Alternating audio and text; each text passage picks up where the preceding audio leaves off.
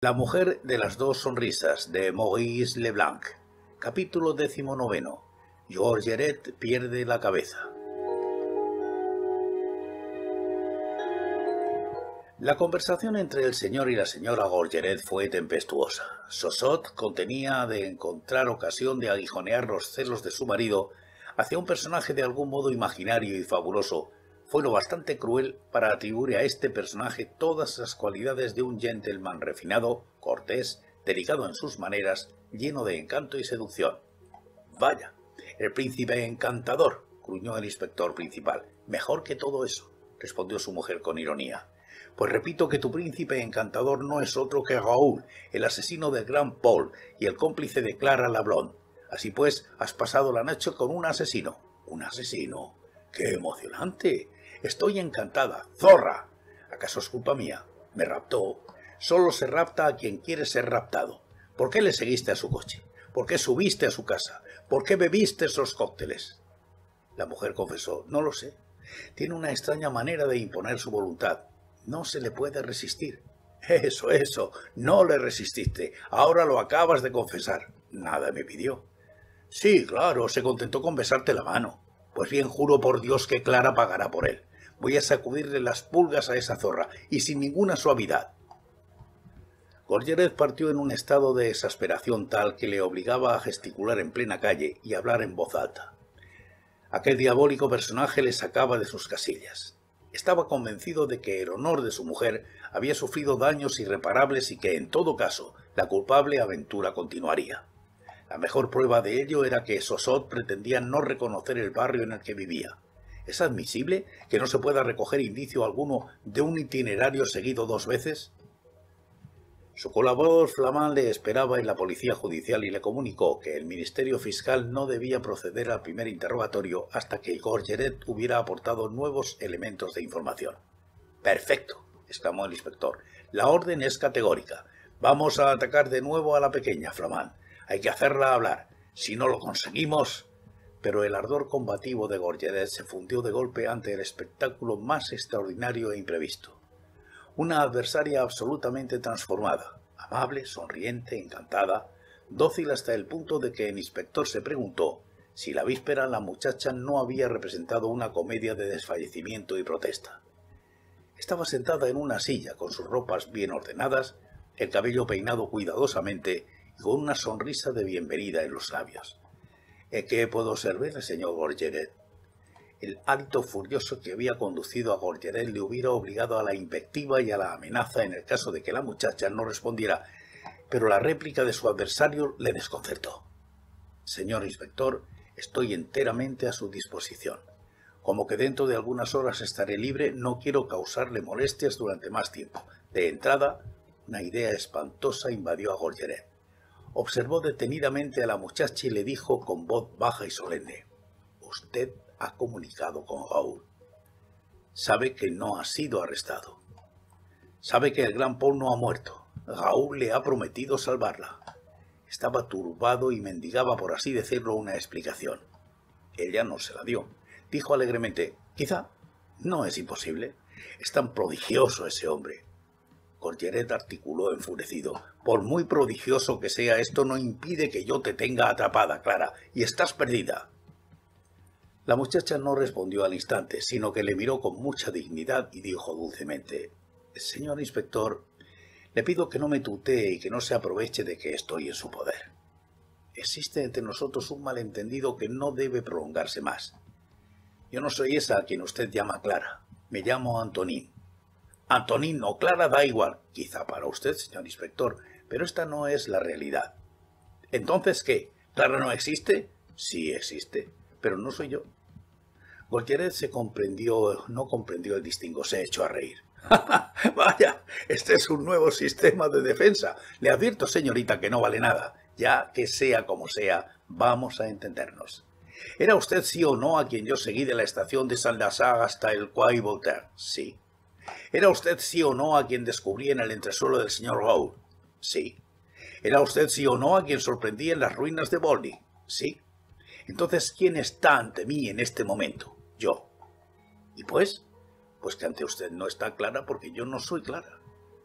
Gorgeret tuvo el gesto desesperado de un actor de vodevil que se sujeta la cabeza con ambas manos y grita No comprendo nada, no comprendo nada. Antonín sonrió. Señor inspector, si usted no comprende es porque no quiere plantearse el problema tal como es. Desde que estoy aquí he reflexionado mucho y lo he comprendido todo. Por eso he guardado silencio. ¿Con qué intención?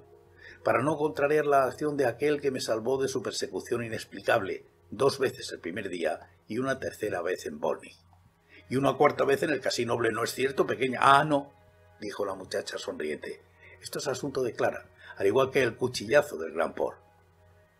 Un destello luminoso pasó por los ojos de Gorgeret. Destello fugitivo. Todavía no estaba maduro para comprender la verdad que la muchacha, por otra parte, con malicia, no le acababa de exponer con claridad. Antonín dijo con gravedad Concluyamos, señor inspector. Desde mi llegada a París vivo en el Hotel Pensión de los de Pignon, en el extremo de la avenida de Clichy. En el momento en que el gran Paul fue herido, es decir, exactamente a las seis de la tarde, yo estaba hablando con la patrona del hotel antes de ir a tomar el metro. Invoco el testimonio de esa persona y también el del marqués de Arlemont. Está ausente. Regresa hoy. Eso precisamente es lo que iba a anunciar a sus criados cuando usted me arrestó, media hora después del crimen. Contiered experimentó una cierta molestia. Sin decir ni una palabra se dirigió al gabinete del director de la Policía Judicial y le puso al corriente de la situación. Telefoné usted al hotel de Les de Piñón. El inspector obedeció. El director y él tomaron cada uno un receptor y Gorgeret preguntó ¿El hotel de Les de? Aquí la prefectura de la policía. Quisiera saber, señora, si entre sus huéspedes cuenta usted a una señorita llamada Antonie Gautier. Sí, señor. ¿Cuándo llegó? Un segundo voy a consultar el registro. Llegó el viernes 4 de junio. Gorgeret dijo a su jefe, esta es la fecha. Continuó, ¿se ausentó? Cinco días. Regresó el 10 de junio. Gorgeret murmuró, la fecha de los hechos del Casino Blue. ¿Y la noche de su regreso, señora, salió? No, señor. La señorita Antonín no ha salido ninguna noche desde que está en mi casa. Algunas veces antes de cenar. El resto del tiempo lo pasa cosiendo en mi despacho. ¿Está en estos momentos en el hotel? No, señor. Anteayer se fue a las seis para tomar el metro. No ha regresado ni me ha avisado, lo que me sorprende mucho. Contiered colgó el teléfono. Se le veía con aspecto de derrotado. Después de un silencio, el director le dijo Temo que haya ido demasiado deprisa, Golgeret. Corra usted al hotel y registre la habitación. Yo, por mi parte, convocaré al marqués de Erlemont. La búsqueda de Gorgeret no trajo ningún nuevo indicio. El equipaje modesto de la muchacha llevaba las iniciales AG. En un extracto de su acta de nacimiento constaba el nombre de Antonin Gautier, hija del padre desconocido y nacida en Lisieux. Por Dios santo, murmuraba el inspector. Gorgeret pasó tres horas crueles. No probó la comida que hizo con Flamand. Era incapaz de expresar una opinión razonable. Flamand intentaba animarle con conmiseración. Veamos, mi viejo amigo, no sea usted testarudo. Si Clara no ha dado el golpe, no sea usted obstinado. Así pues, triple idiota, ¿admites que ella no ha dado el golpe? Sí, fue ella. ¿Era ella la bailarina del Casino Bleu? Sí, era ella. Entonces, ¿cómo explicas, primo, que no saliera del hotel la noche del Casino Bleu?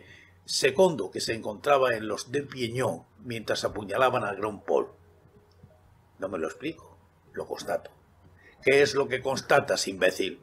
que no se puede explicar nada. Ni un solo instante los dos policías pensaron en separar a Antonín de Clara. A las dos y media el marqués de Arlemont se presentó y se le hizo pasar al despacho del director, que mantenía una entrevista con Gorgeret. De regreso del Tirol suizo la víspera por la noche, Jean de Arlemont se enteró por los periódicos franceses del drama que había tenido lugar en su inmueble, de la acusación lanzada por la policía contra su inquilino, el señor Raoul, y del arresto de una señorita llamada Clara. El marqués añadió, esperaba encontrar en la estación a una muchacha, Antonie Gautier, que es mi secretaria desde hace algunas semanas y que estaba sobre aviso de la hora exacta de mi llegada. Según lo que me han contado mis criados, he creído comprender que ustedes mezclaban a esta persona con el asunto. Fue el director quien respondió, esta persona en efecto está a la disposición de la justicia. Así pues, ¿está detenida? No, simplemente a disposición de la justicia. ¿Pero por qué? Según el inspector principal Gorgeret, encargado del caso del Gran Paul, Antonin Gautier no es otra que Clara Lablon. El marqués quedó sorprendido. ¿Cómo? exclamó con indignación. ¿Antonina es Clara Lablón? es una locura. ¿A qué viene esta broma siniestra? Exijo que se libere inmediatamente a Antonín Gautier y que se le den todas las excusas que se le deben por el error de que ha sido víctima y con el que su naturaleza ha debido sufrir infinitamente. El director observó a Gorgeret. Este no había ni pestañeado.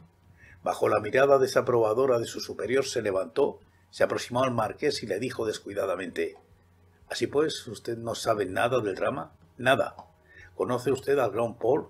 Jean de Lemont pensó que Gorgeret todavía no había establecido la identidad del Grand Paul y por ello respondió contundente No. ¿Conoce usted a Clara Lablon? Conozco a Antonín, pero no conozco a Clara Lablon. ¿Y Antonín no es Clara? El marqués se encogió de hombros y no respondió. Una palabra todavía, señor marqués. Durante el corto viaje que usted hizo a Bolny con Antonín Gautier, ¿la dejó usted sola? No. En consecuencia, cuando yo encontré a Antonín Gautier en el castillo de Bolny, usted estaba allí. De Remón había caído en la trampa y no pudo esquivarla. ¿Puede usted decirme qué hacía allí? El marqués tuvo un momento de embarazo. Por fin respondió. Estaba allí como propietario. ¿Qué? Exclamó Goyeret. ¿Como propietario? En efecto, hace quince años compré el castillo. Goyeret no acababa de creerlo. ¿Que usted compró el castillo? Pero si nadie lo sabía. ¿Por qué esa adquisición? ¿Por qué ese silencio? Gorgeret rogó a su jefe que le concediera unos minutos aparte y llevándoselo hacia la ventana le dijo en voz baja Toda esta gente está mezclada en el asunto. En el castillo solo había la rubia y Jaúl. Jaúl. Sí, le sorprendí juntos. Así que se da usted cuenta, jefe. El marqués de Relemón, la muchacha rubia y Jaúl, todos son cómplices. Pero hay más todavía. ¿Qué? El marqués fue antaño uno de los espectadores del drama de Bowling en el que la cantante Elizabeth Ronen fue asesinada y robada. Demonios, esto se complica. Gorgeret se inclinó hacia él. Todavía hay más, jefe. Ayer encontré el último domicilio del Gran Paul y allí estaba su equipaje. Entre sus papeles hice dos descubrimientos de la mayor importancia cuya confirmación esperaba para hablarle a usted. En primer lugar, el marqués era el amante de Elizabeth Ronen y nada dijo de eso durante la instrucción del caso. ¿Por qué? En segundo lugar, el verdadero nombre del gran Paul es Valtés. Ahora bien, Valtés era el sobrino de Elizabeth Ornen y Valtés, me he informado de ello, acudía con frecuencia a visitar al Marqués de Slemont. ¿Qué dice usted a eso? El director pareció muy interesado en aquellas revelaciones, dijo a Gorgeret. El caso cambia de aspecto y por lo tanto creo que debemos cambiar de táctica. Cometeríamos un error si intentáramos atacar de frente al marqués.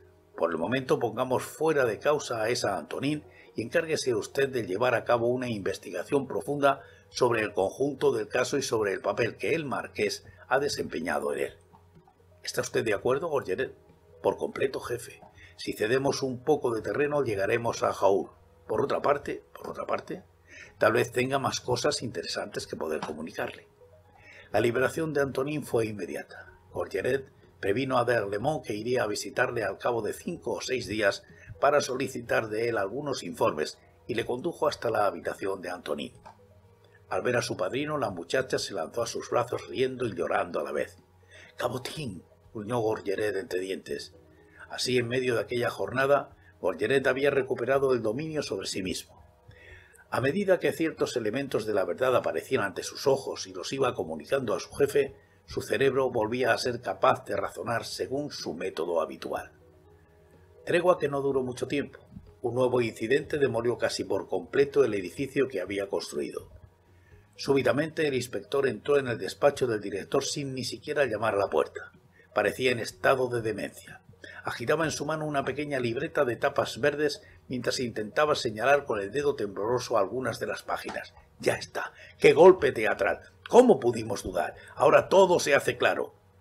Su superior intentó calmarle. Gorgeret se contuvo como pudo y acabó diciendo Lo había anunciado otra cosa posible. Aquí está. He encontrado esta libreta en el equipaje del gran polo de Valtés, como quiera. Se trata de notas sin importancia, cifras, direcciones y después algunas frases borradas a medias que son las importantes. Ayer las di al servicio de identidad judicial para que las descifrara. Entre ellas hay una que no tiene precio. Es esta, vea usted. El servicio de identificación ha transcrito el texto debajo y de hecho con un poco de atención es fácil leerla. El director cogió la libreta y leyó la nota que estaba concebida en estos términos. Dirección de Raúl, Avenida de Marruecos 27 en Ateuil. Desconfiar de un garaje que hay detrás. A mi entender, Raúl no es otro que Arsenio Lupín. A verificar. Colcheret profirió, no hay duda, jefe. Es la clave del enigma, la llave del cofre. Cuando se posee esta llave, todo se abre, todo se aclara. Solo Arsenio Lupín puede montar una máquina de estas dimensiones. Solo él puede burlarse de nosotros y hacernos fracasar. Raúl es Arsenio Lupín. ¿Qué va a hacer usted? Voy corriendo a la dirección mencionada. Con ese tipo no hay que perder ni un minuto. En estos momentos ya debe saber que la pequeña está en libertad y estará a punto de evacuar el terreno. Voy corriendo. Llévese consigo a unos cuantos hombres. Me harán falta diez. Veinte si es necesario, dijo el director, que también se sentía animado. Al galope, Gorgeret. Sí, jefe, exclamó el inspector cuando salía. Ataque brusco, refuerzo, alerta general. Arrastró consigo a Flamán, recogió a cuatro agentes al paso y saltó a uno de los coches que estaba estacionado en el patio. Otro auto partió detrás del suyo cargado con seis agentes y un tercero detrás. En verdad, aquello fue una movilización sorprendente. Todas las campañas habrían tenido que llamar al somatén, todos los tambores redoblar al unísono, todos los clarines llamar a reunión, todas las trompas y todas las sirenas proclamar la señal de asalto. En los corredores, en los despachos, de un extremo al otro de la prefectura la gente se lanzaba. Raúl es Arsenio Lupín, Arsenio Lupín es Raúl. Era un poco más tarde de las cuatro.